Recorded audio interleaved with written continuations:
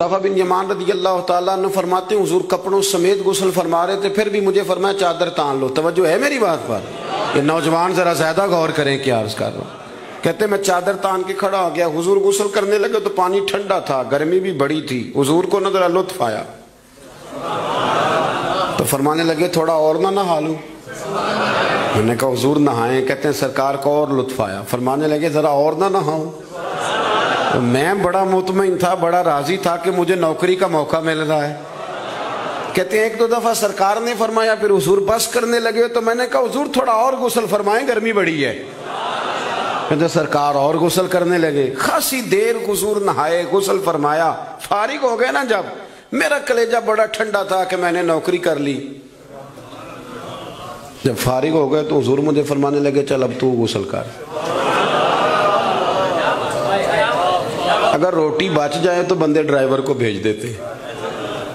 अगर कभी बच जाए। चले, आपने कौन सा मुझसे नाराज़ होने, आप तो अपने हैं। अगर कोई देख बढ़ जाए तो मदरसे भेज देते। कि वो उसको कहते, आप यही हैं कि उसके पैरों के नीचे फरिश्ते पर बिछाते। हैं ये भी आप कहते हैं क्या फजी, आपकी बड़ी शान है, आप नमाज़ पढ़ाते हैं, पर देख वो भेजनी है जो बच गई। वो आप भेज दें, बच गई है, वो ज़्यादा थी तो हमने कहा, चलो बच्चों को दे देते। ये एजाज नहीं दिया। देख दे दी, पर आपने इज़्ज़त नहीं दी। वकार का मुझे मज़ा नहीं आया इसका। ये ये कुछ सुरूर वाला काम नहीं। मेरा एक दोस्त मुझे एक दिन कहने लगा, हज़रत जी, अगर कुछ टाइम मिला ना निकला तो मैं आऊँगा। मैं कह, यार, ना तो कोई मज़ा है। साढ़े को तो टाइम कट के आना, यार। हद हो गई। तू कह कि मैं बड़ा मसरूफ हूँ, पर आप हुक्म तो करे, मैं सवेरे ही आया। ये क्या बात आपने, असी को बचे कुछ टाइम आ लिया हमारे पास तो तू आ थोड़ा सा, सारा कुछ छोड़ छाड़ के पता चले कि तू आया है। मेरी बात की समझ आ रही है? मेरे अज़ीज़, बात को समझना है आपने। हज़रत उजावा बिन जमान रदी अल्लाह तु फरमाते हैं कि जब हुजूर गुसल फरमा चुके तो कहने लगे, अब तू गुसल कर। कहते हैं, मैं गुसल करने लगा तो सरकार ने फरमाया, चादर मुझे देना, मैं तान के खड़ा हो जाऊँ। यानी नबी करीम की बात कर रहा हूँ। वो सारी ज़िंदगी पीर साहब नौकरी कराते रहते हैं, मुरीद पे चढ़ जाए ना, कर्जा तो कहते हैं उसका जाती मामला है। तो जब तेरे घर झाड़ू दे रहा था, फिर नहीं जाती मामला था। थोड़ी तू भी प्यार कर ले, कभी तू भी उनके साथ कह। वो मेरे एक दोस्त हैं पीर साहब। तो उर्स पे मैं गया हुआ था तो उनका बच्चा, वो अपने बेटे से पूछते हैं कि, पुत्र, वो दाल वाला जो देग है, वो गर्म ही है ना? कहने लगा अब्बा जी, बस ठीक ही है, चल जाएगी। यानी गर्म करना भी पसंद नहीं साहबजादे के लिए। अब्बादी चल जाएगी। तो पीर साहब ने बड़ा अच्छा जुमला कहा।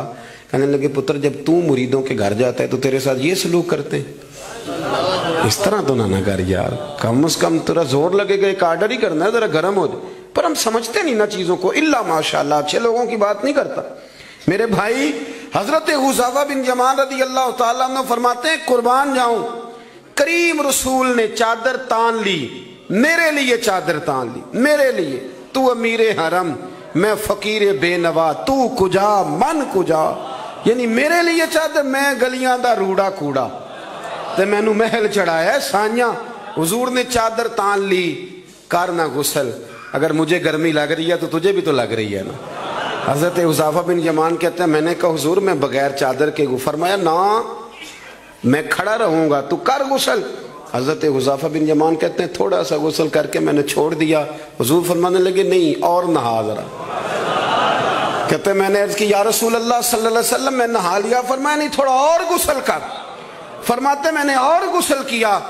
थोड़ी देर के बाद फारिग हुआ मैंने कहा, हुजूर, मेहरबानी फरमाए, मैं नहा चुका।